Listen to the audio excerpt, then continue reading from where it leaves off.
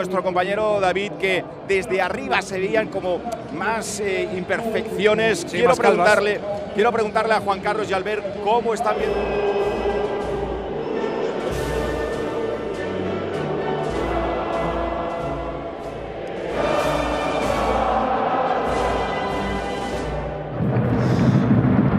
Smile, but the irony of In for Diogo Dallo, who scored twice against the Czechs on the Koke, skippering Spain of Portugal.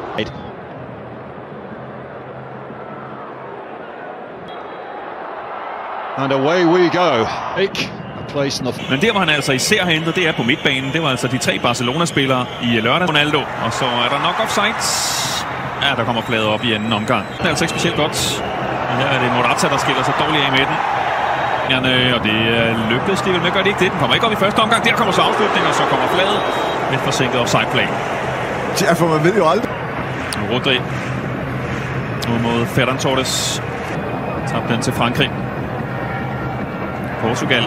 Nu skal lige passe Ja, på her. her øh, ser det mærkeligt ud i det portugisiske forsvarsspil. Mulighed for spanierne til at komme foran tidligt. En stor chance for Pablo Sarabia.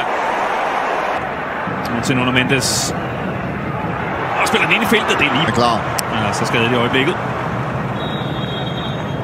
De startede begge to inden i lørdags, men nu altså helt uden for truppen. Soler spiller endnu mindre end Sarabia, efter han skiftede. Eller 8, hvor det er Rodri, der spiller den bagerste midtbane.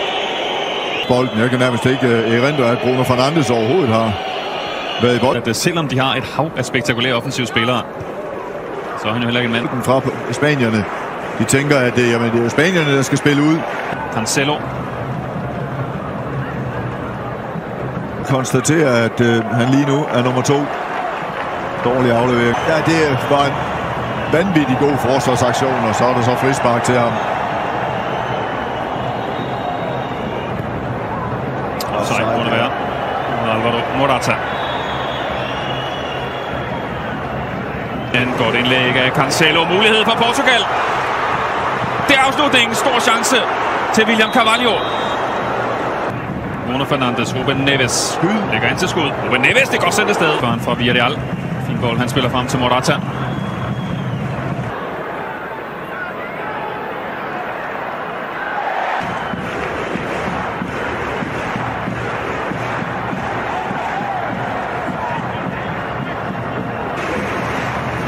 Bruno Fernandes. Og hjørnesparket. Tester United efter en rolig sommer. Her vågner Una Simon kapper Soler kan ikke komme på den. Ronaldo, frispark. Det går af Guillermo en advarsel. Første kort for Atletic er lige vendt tilbage fra en skade, og derfor ikke udtaget. Ligger Shota kan afslutte første gang, tager den ned. Shota, stadig Shota. Kan ikke på plads til skud, så kommer den så til sidst. Men der er han, hvor han skal være, Unai Simon. God detaljer. Er på plads. Godt forsvarsspil. Ja, det er duel. Ja, det var, for, det var simpelthen ikke, fordi det var nogen særlig.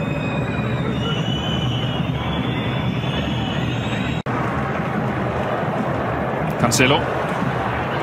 Kommer han i problemer igen. Cristiano Ronaldo kan ikke komme ind øh, foran Rodrigo Hernandez. Simpelthen har, har, har mistet bolden i prekære situationer.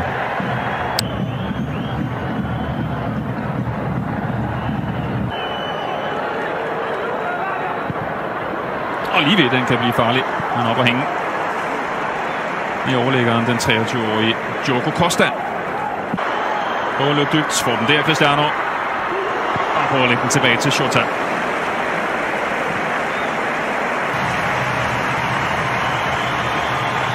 Mange spillere på det gruppe, der skal spilles færdigt her i aften.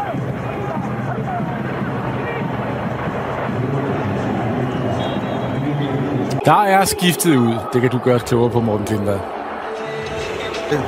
Og så vil, så vil Luis Enrique helt åbent. begået. Ja, Bernardo Silva advarsel. Til teknikeren fra Manchester City. Ja, Carvajal. Shota kommer afsted, holder Carvajal væk. Der kommer Cristiano Ronaldo! Det er godt målmandsspiller, Unai Simon. Et med en lang bold, men lige til Nuno Mendes. Smart bold, han spiller frem.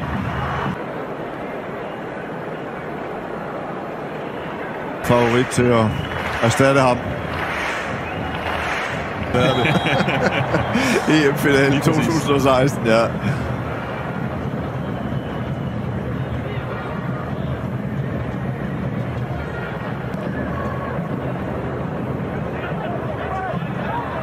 i 100 jubilæet. Carvalho Europa. Shota. Frispark af Carvajal. Ja, det er helt rigtigt, at han Her kan de jagte en scoring. Soler lægger ind til skud. Carlos Soler langt, langt over mål. Ja. Det er den, der lige uh, løb ind under udskiftningsbænken. Udskiftning. Shota er vigtigt indgreb Kunstner.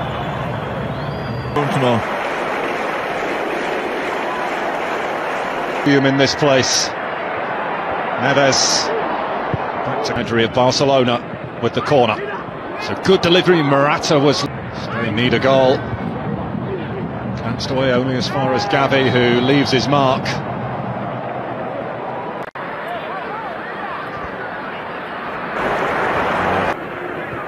Ferran Torres. Pedri, Ferran Torres. Så er det hensigtsmæssigt at være så forsigtig i sin tilgang, som han jo er. Derovre kommer William Carvalho. Får den taget til sig, lægges tilbage, og så er det en stor, stor chance, som bliver reddet lige ind. Foran stregen var det Carvajal om vejen. Ja, det er Morata. Morata afslutter man lige på uh, Diogo Costa. Cristiano Ronaldo ligger her. Cristiano Ronaldo kan gøre det. Stor mulighed for Cristiano Ronaldo. Som er decideret. Vi kommer ind i Europa og ud til netop indskiftet Williams. Williams afslutter. Men den har styr på Diogo Costa.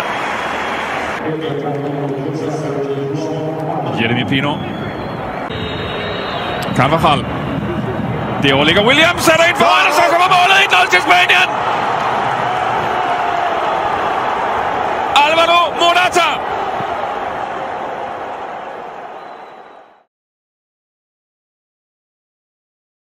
Ronaldo, capitán de Portugal. Aplauso total, compañeros de equipo, ambos en el Real Madrid. Y Xavi con Silva e Iniesta en las bandas y Villa el número 7 como delantero centro. En la defensa veremos a Joao Pereira, a Bruno Alves, a Carballo y a Bosingua. Tres hombres en el centro del campo que serán Moutinho, Meireles y Martins. Y los tres de delante con Elder Postiga y no digamos nada lo que hay en las bandas con Cristiano Ronaldo. Y el saque de los dos eh, niños y ahora sí que va a comenzar el partido. Escaparate para la candidatura ibérica del Mundial 2018 y 2022. Va a poner la pelota en juego el equipo español para despedir este año, este memorable 2010. Están Silva y David Villa junto a la pelota. Ahí está el comienzo. Ojo a la exigencia ahora para Piqué. Cristiano Ronaldo, el recorte. Sigue Cristiano Ronaldo, levanta el balón. Va a marcar. No vale, no vale, fuera de juego. Es fuera de juego. Es fuera de juego. Yo creo que si no toca Nani, si es gol. Es fuera de juego, jugador de Cristiano Ronaldo. Y atención a... A paso lento no, lo siguiente. Ahora no, ¿eh? No, le está protestando el cuarto árbitro. Ahí está Cristiano Ronaldo con el Busquets. Uy, como se ha ido Cristiano Ronaldo. El disparo Casillas. El del Postiga. Y gol. Ha marcado Portugal. Ha marcado Martins. Ha marcado Martins el primer gol del partido. En esta acción de Cristiano Ronaldo por el lado izquierdo que dejó bloqueado a Busquets. A Meireles, Nani. Qué buen balón ha metido Nani ahí para Moutinho. El remate del del Postiga, gol. A Nani, Dani, Moutinho. Moutinho dentro para el del Postiga. Tercer gol de Portuguiño. Moutinho para Pepe que se ha incorporado al ataque. No hay fuera de juego. No hay fuera de juego. Gualmeida. Gol. El cuarto de Portugal. Ha marcado Hugo Almeida en el contraataque al que se había incorporado hasta Pepe. Este final de año no nos lo esperábamos. Hemos sido campeones del mundo, pero nos hemos llevado cuatro goles en el último partido de la temporada. No era lo que se merecía España, no, ha salido, no han salido bien las cosas. Todo ha sido.